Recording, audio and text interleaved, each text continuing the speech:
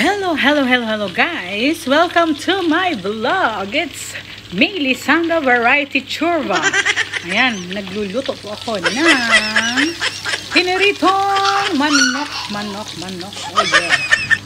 Before guys, ni na marinate ko yung chicken. Ayan. So, yung mga herbs na ginamit ko sa chicken ko, hindi ko na din alam ngayon kung ano yun. Ayan. Ito naman guys, yun yung ito na yun guys. Ayan. So, ilalagay ko ito sa sa sa mantika. Ayan. O, diba? Ito na yung hitsura sa finishing touch. O, diba? Ang sharap. Sharap. O, diba?